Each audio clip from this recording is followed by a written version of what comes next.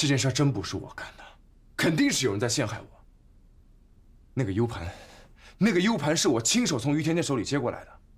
你说于甜甜总不能自己害自己吧？不管是不是你，这件事情你都必须解决，无论是为了酒店还是为了你自己。你不是一直号称自己有多聪明吗？怎么了？这么点小伎俩，就把你给难住了？不是你的错，是谁的错？我尊敬的马总，你这个理论，简直流氓的我无法反驳。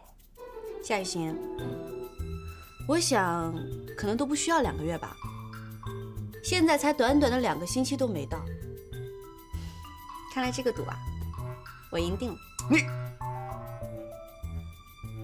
好，我算是明白了，我就是传说中的背锅侠。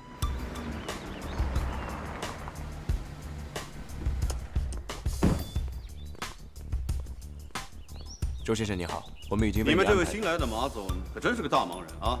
我这个小小的供应商，他是不会放在眼里。啊，周先生您误会了，我们马总现在在您太太。我太太，你们 GR 肯定不会把我太太放在眼里。我确实没想到我太太会在这里受到了欺负。周先生，我看你是误会了。以你们 GR 现在的状况，我觉得是最适合收购。我作为供应商，应该早点做好准备，提前抽身。我太太呢？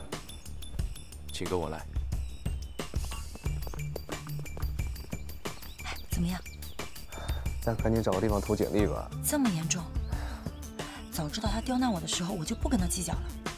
早就听说周宇是个宠妻狂魔，这也真是，简直是要把酒店给炸了。没想到于婷婷捡了这么一个宝贝，难以置信。甜甜，老公，哎呦，你来了，我给你准备了你最喜欢吃的水果。哎，好，嗯，就你最贴心了。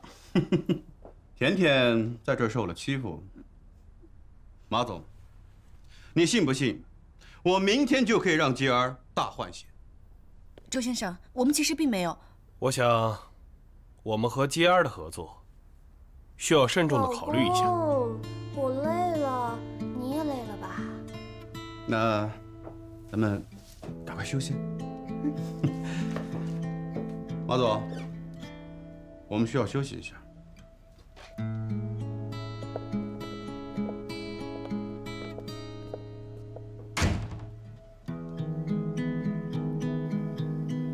不行，我得去找刘冰谈谈。你等等，马总，你没看出来吗？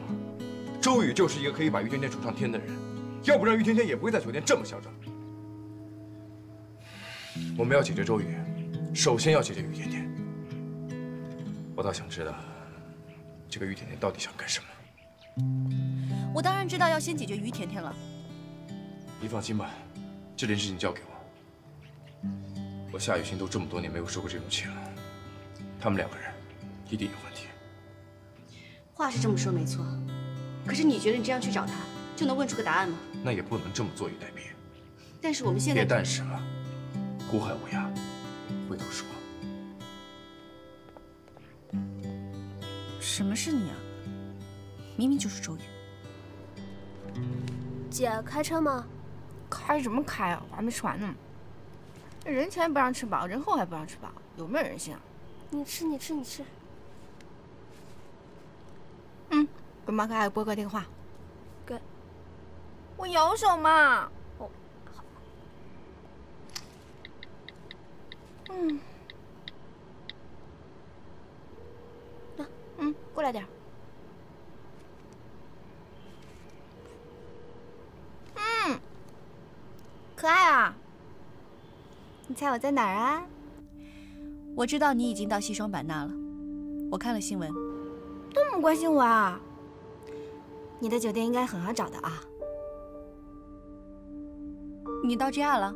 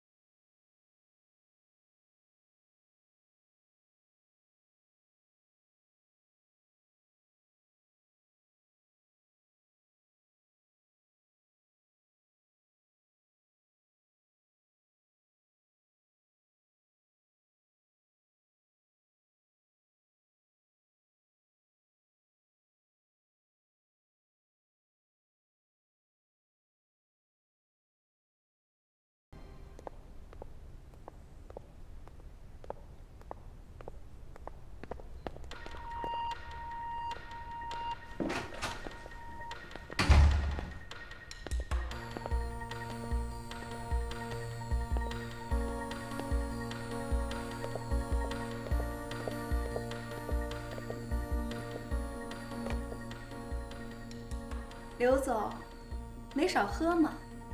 怎么了？是不是有什么难处？我知道，你早晚都会来找我。做这一切，不就为了报复我吗？对吧？不错，还不算笨。刘总，你现在不能没有这份工作吧？就像当年的我，也不能没有这份工作一样。说什么呀？我我怎么听不懂啊？你听不懂，真是好笑。之前，所有被你欺负、利用又丢开的女人，她们选择带着你的秘密离开这里，而我却选择带着你的秘密回来了。你万万没想到吧？于甜甜，我就纳闷，我当初为什么要放过你？是啊，斩草不除根。春风吹又生。你不要以为在这家有人罩着你，我就拿你没有办法。我知道那个人是谁，不过现在已经不重要，你知道吗？这些年，我为你可谓是煞费苦心啊。怎么样？股票跌得够多，够惨吧。你怎么知道？可是我觉得还不够惨。你到底要怎么样才放过我？放心，牵扯到我老公的利益关系，我是不会拆穿你们的。不过，我会像你当年折磨我一样，来折磨你。你到底要怎么做？道歉啊！跪下来求我，就像……我当年一样，让我跪下来求你，让我跟你道歉，你妄想吧你！那咱们就走着瞧。没了这份工作，我就看看你拿什么拯救你赔惨了的股市呢？贱人，你就是个贱人！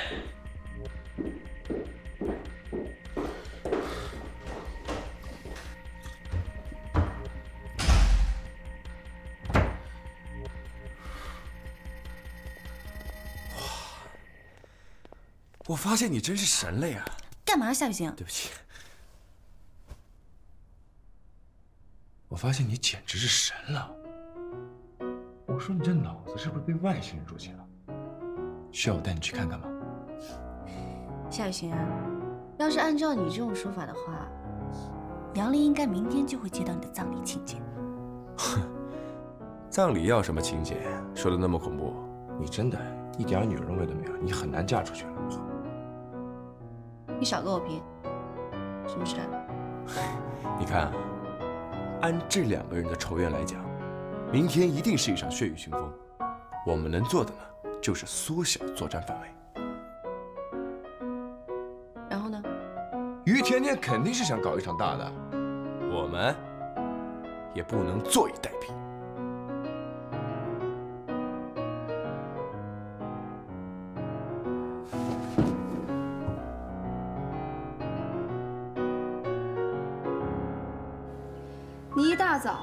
叫到刘斌办公室，不是为了请我喝杯咖啡吧？咱们俩的矛盾，应该是可以解决得了的。再说了，我也不是背后使坏的小人。咱们俩有仇报仇，不要伤及无辜。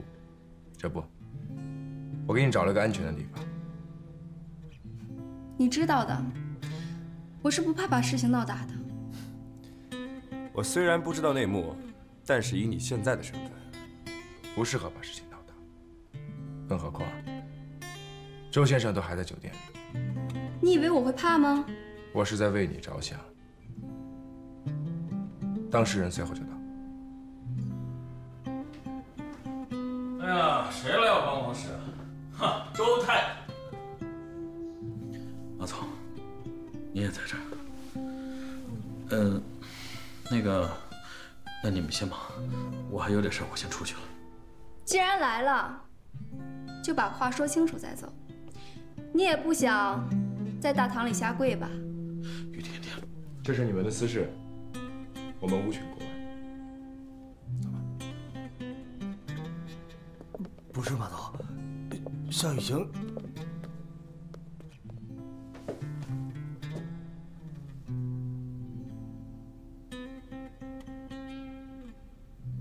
我们真的不管。这是人家的私人恩怨，咱们为什么要管？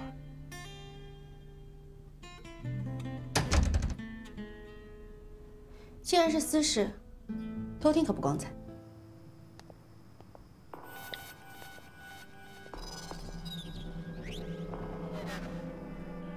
赵总，你这回有点操之过急了吧？把供应商的渠道切断，我认为现在是最好的时机。你那是想当然，一定要把眼光放长远。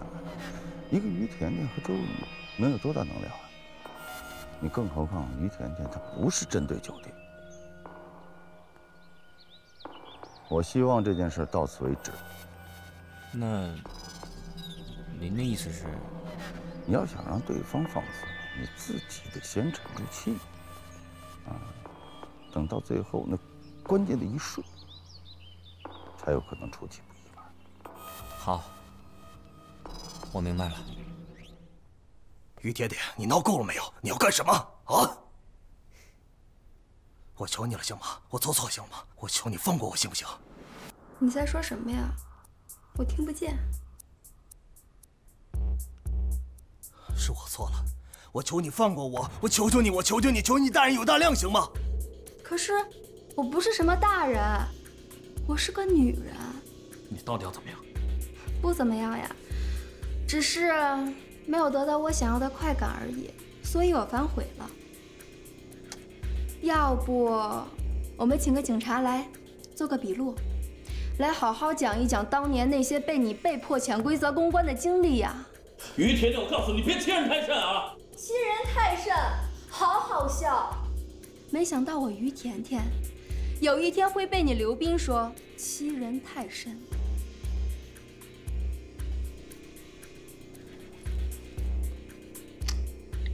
于甜，你干嘛？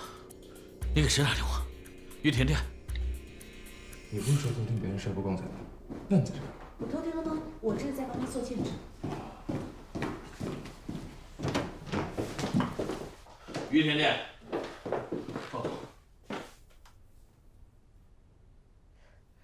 这不是赵总吗？没想到您还在这儿呢。周太太，您现在是飞上枝头变凤凰了，怎么就这么对待老同事的？那您问问刘斌，刘经理是怎么对待同事的？酒店内部的事情，我们酒店自然会处理，还请周太太高抬贵手。好吧，大家都在，那今天就当着大家的面把话说清楚。于甜甜，凡事点到为止。你不要忘了，当年你屡次偷窃酒店和客人的钱财，我是念在你要为你妈妈治病的份上没有报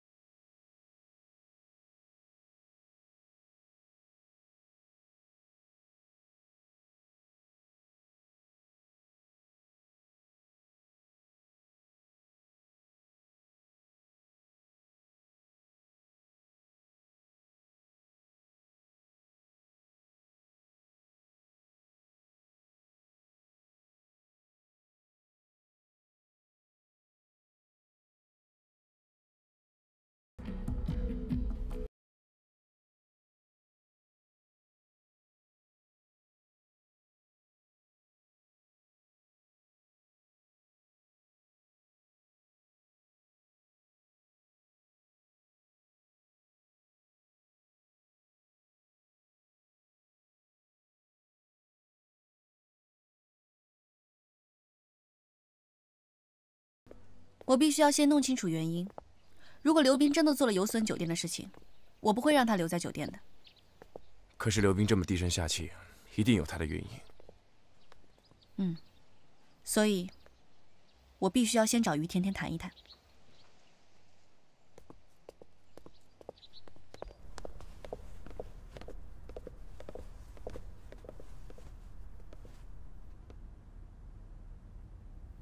周太太要走了，还留下来干什么？让你们在我酒里下药吗？没下药。算了，不用解释。我做酒店受气整客人的时候，大哥你还不知道在干什么呢。周太太，您能否告诉我们到底发生了什么？如果真的是我们酒店的责任，我一定会让刘斌走的。其实，他走不走跟我有什么关系？只是想想，我对 JR 是有感情的，毕竟当初我把他当做家一样。马总，你别怪我没有提醒你。无论出于怎样的原因留下刘斌，都是养虎为患。所以我们才要知道发生了什么。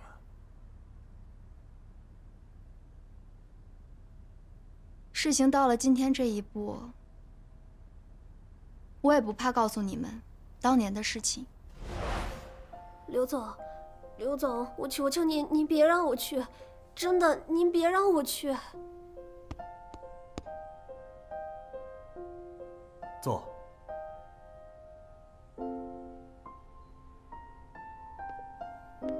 快点儿！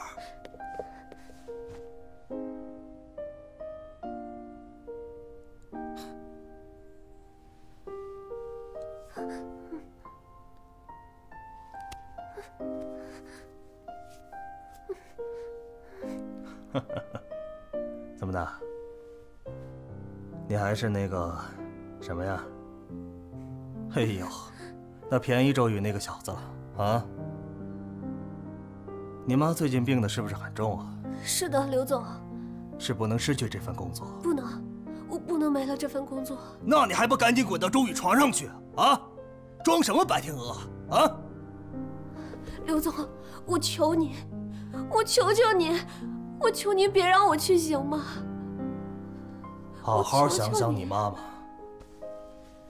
啊！求求你，想想你工作。我做什么都可以，我求你，我求你别让我去，我求求你了，刘总。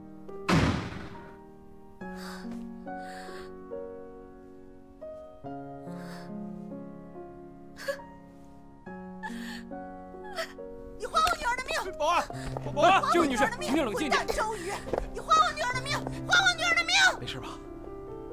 真的没事。真没事。呃，刚刚那个是我前女友的妈妈。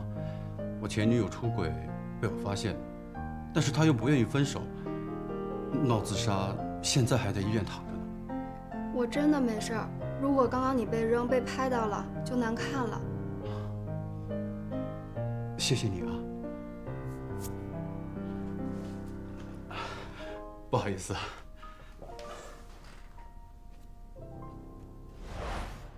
好了，我和刘斌的恩怨就是这样的。等我老公办完事情回来，我们就离开。恐怕这一次是我最后一次回 JR 了。周太太，我能否问您一句？您到底是看上了钱，还是看上了人啊？很多事情，包括爱情，就和这酒店一样，你永远不知道它对你意味了什么。像这样的事情，我一定不会让它再次在 JR 发生的。马总，你好可爱。马总，我不想打击你，但是我知道这是不可能的。马总，你知道吗？在这家酒店里，就是要有人不断被牺牲，也要有人踩着别人的尸体往上爬。不管你做到什么职位，你又是谁，都改变不了这样的生存法则。我明白，但是我也是女人，我只是希望能够尽我所能。马总，酒店的无奈可不仅仅只有这种事。你们知道吗？在 JR 一直有一个传闻，曾经有一名女员工自杀了。那曾是一场非常著名的危机公关，但这件事儿却一直仅仅存在于流传而未经证实的层面上。女员工资料被抹杀了，危机公关的功劳最后却写在了刘斌的功劳簿上。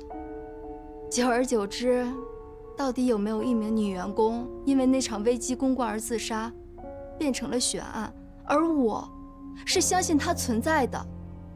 你是不是知道刘斌的后台是谁？还是赵清风跟你说了什么？你愿意放过刘斌？是，我知道。那，但我不能说。为了我老公的生意链，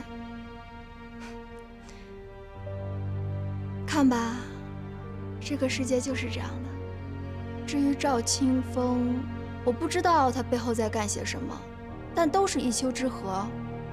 希望马总。以后可以擦亮眼睛，否则会被人吃得尸骨无存。周太太，能否请您在酒店多留一天？虽然我们心中都有很多的无奈，但是既然你说了，你曾经把 JR 当做过你的家，那么这个家就应该给你一个回应。可爱啊，我知道，你这次这么坚定的让刘斌走，啊，就说明你一直没有原谅他，还有赵清风，是吧？嗯，叔叔您多想了，不是这样的。你不用否认，作为商人有心计是对的。叔叔的意思是在给刘斌求情吗？啊，不不不，刘斌这次是太狼狈了。他的行为已经有损酒店形象，他必须走。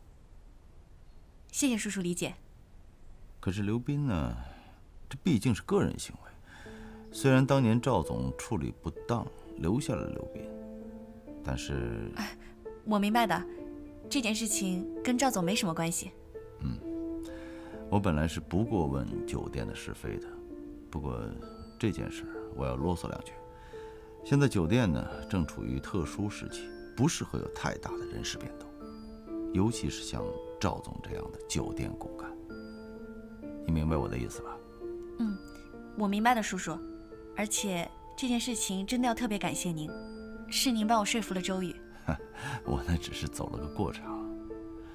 我听说你约了银行行长吃饭。嗯嗯，非常好，我果然没有看错你。谢谢叔叔，这件事情我一定会尽力的。加油。机会总是留给有准备的人。我走了。嗯，我送送您。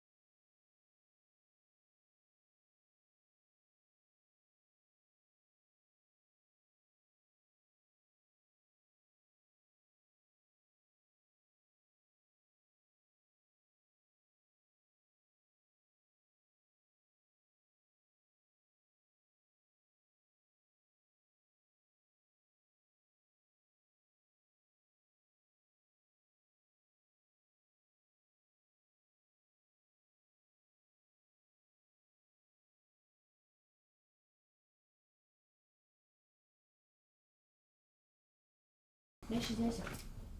哎，现在见你可真不容易啊！啊，这楼下的他们跟我讲，如果没有预约的话，就不让我上了。还好认识我的人有几个，刷脸成功。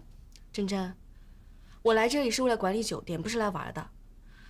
现在酒店情况不是特别好，我能不能麻烦你在泰国折腾我就算了，来中国了，稍微跟我保持一点点安全距离，可以吗？好啊。就我呢，大概就住在你隔壁的房间。不是陆晨晨，你到底想要干什么呀？离你近一点呀，这样你好保护我啊。这二十四小时的记者都盯着我拍，我很没有安全感的。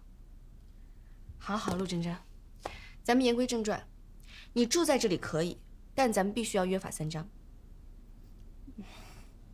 说来听听吧。第一，不准进入我房间；第二，上班期间不准跟我说话；第三，也是最重要的一点，不许给我惹是生非、招惹麻烦，把记者给我引来，听到没有？这引来记者不好吗？哎，据我了解，你现在这个酒店情况可不太好啊。这引来点记者，增加点曝光度，多好啊！我不需要用招黑来给我的酒店增加曝光度。好吧，好吧，还有吗？还有。哎，我只是跟你客气一下啊。可是我不用跟你客气啊。过一段时间，你要为我的酒店代言。什么？可爱，咱俩才多久没见啊？你现在怎么变成这么唯利是图的商人了？哎，我可是你好姐妹啊，你怎么还能利用我呢？好姐妹？啊，对，在你抢走我男朋友之前呢，我们确实是好姐妹。不过现在要说我们之间非得有什么关系的话，我觉得还必须得用利益来维持一下了吧？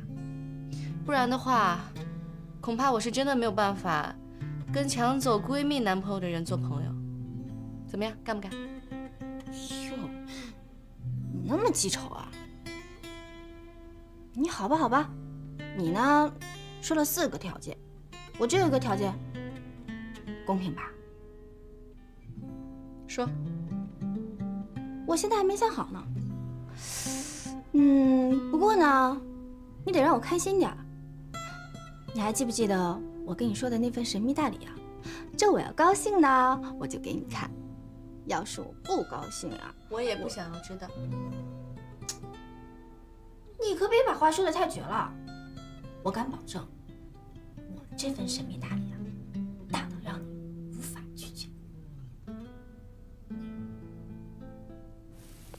马总，咱们这是要去哪儿啊？开房啊。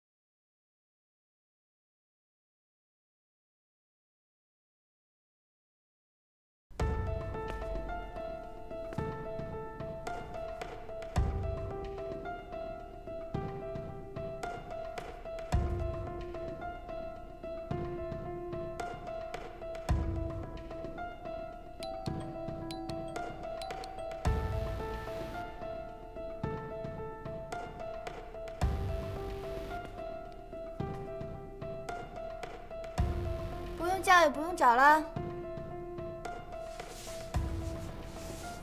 你知道他去哪儿了？当然了，我的眼线都告诉我了。你的可爱呢，带着他的小可爱出去兜风了。不对啊，最新情报，你的可爱带着他的小可爱去 W M 酒店开房了？不可能！这有什么不可能的呀？都是成年人了，难道你以为可爱会为你守身如玉啊？反正信不信由你。哎，不过我得警告你啊，你违约了。你是怎么答应我的呀？没有我的允许就不能随便来见可爱。要是还有下次的话，我就让你，不对，我就让可爱付出代价，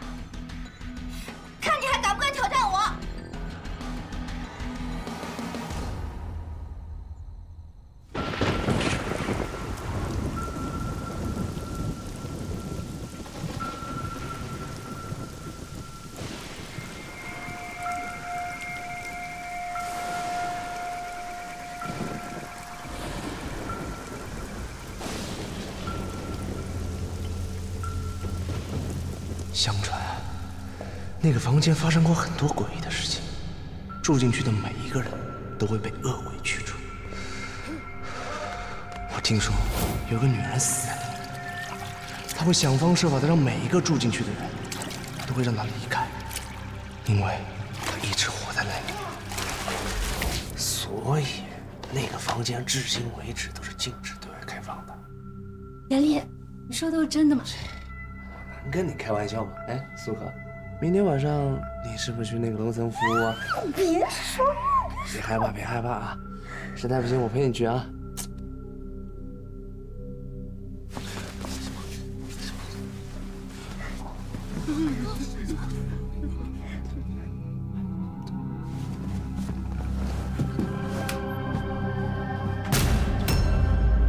吓死我了你！你明天晚上是不是也要陪我去啊？哦，不是，这这个不是绅士一点嘛，男人嘛总得绅士。你怎么没有对我绅士过？杨丽，今天这件事情没有一支 CL 见亮色和香奈儿粉红邂逅，过不去。不不不，别这么狠嘛！你这咱还得攒钱结婚，攒钱生小孩，攒钱买奶粉呢。我也要攒我的青春折旧费，你不知道吗？每个女人都要攒自己的青春折旧费的，否则就只能被无情无耻的男人抛弃。不是这，嗯，口红、香水，你选一个。我和两百块选一个。两百块，选你吧。既然选我，就乖乖听话，我就等着收礼物了啊！啊，轻一点。这 简直是敲诈，简直是勒索！晚上好，先生，这是您的房卡，祝您入住愉快。谢谢。啊不要！哎，太恶心了！不不不不不不！喂喂，马总，你你你你你你把这个离我远点！啊啊啊！马总马总，你要真这么虐待我，你不如直接送我也就算了，那太恶心，拿走！有道理啊！啊！揍我这是？揍你！啊！我的小小胳膊！怎么了？就这么两下就不行了？马总，你要真想揍我，你干嘛非得来这个酒店？在咱们酒店也可以揍啊！这不是你常说的吗？知己知彼。再说了，我也要知道我助理是不是一个绣花枕头啊？马总，你说你一个女孩子家家啊，你得跟男生保持点安全距离，这是一点防范意识都没有。我保持了呀，喏。再说了，我这是信任你的表现。你好像是个有故事的人物。就算我有故事，咱俩也没到可以说故事的时候。切，真小气！故事谁没有啊？马总，你说你跟陆真真，你们俩是闺蜜？啊，对对对对对对对不起，那个我我我不知道你男朋友啊是不是？陆真真，她曾经确实是我最好的闺蜜，可以说是我悲哀童年里唯一的朋友。天知道他对我有多重要，我真的愿意把我的一切，一切都跟他分享。可是我没想到，他想要分享的，却是我生命中另外一个同样重要的人，我的男朋友。马总，你你你别这样，我我这个人最不会的就是哄女孩开心。那个，你你，这个时候我应该干嘛呀？要是杨丽在就好了。等等，孙健给我总结的那些偶像剧里都是怎么做的来着？对了对了，摸头杀、额头杀、壁咚杀，什么来着？不管了不管了，拼了拼了！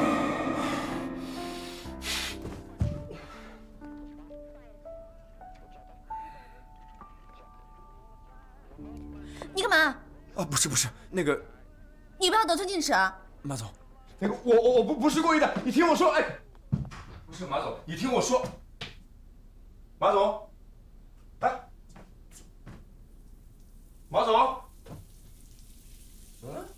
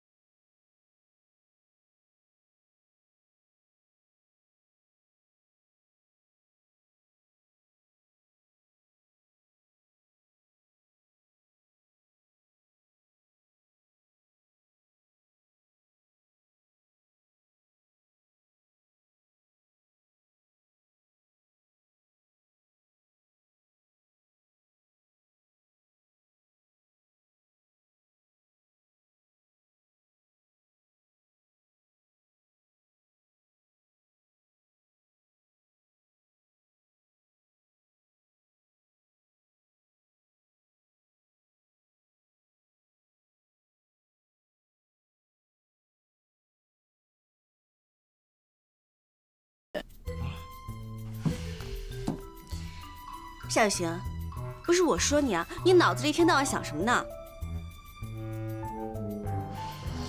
赶紧把衣服给我穿起来。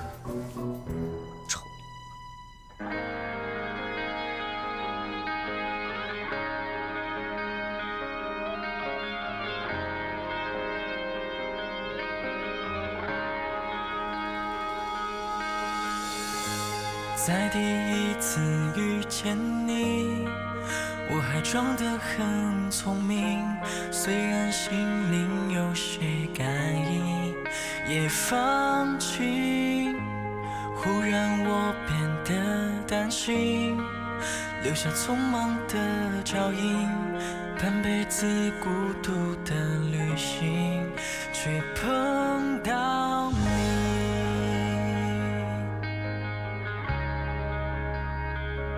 不可思议。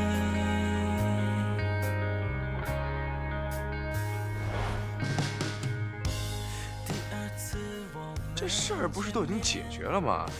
怎么还是愁眉苦脸的？现在不是应该庆祝一下吗？问你个私人问题啊，你有没有那种特别舍不得又不得不放下的人啊？嗯，放下并不代表着忘记，而且美好的回忆都是属于你的。反正啊这人得往前看。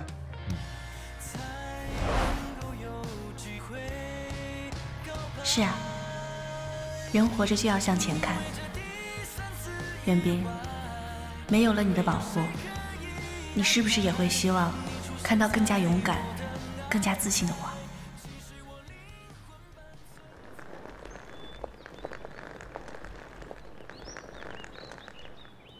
周总，感谢您对我们 JR 的支持和信任。马总不必谢我，要谢就谢我太太吧。你看你干嘛一直板着脸？你都给马总吓坏了。对对对，我太太一直让我跟你道歉，说那天我太没风度了。没关系，我们都能理解的。您是担心太太吗？啊，对了，周先生，我能否和您太太单独聊两句？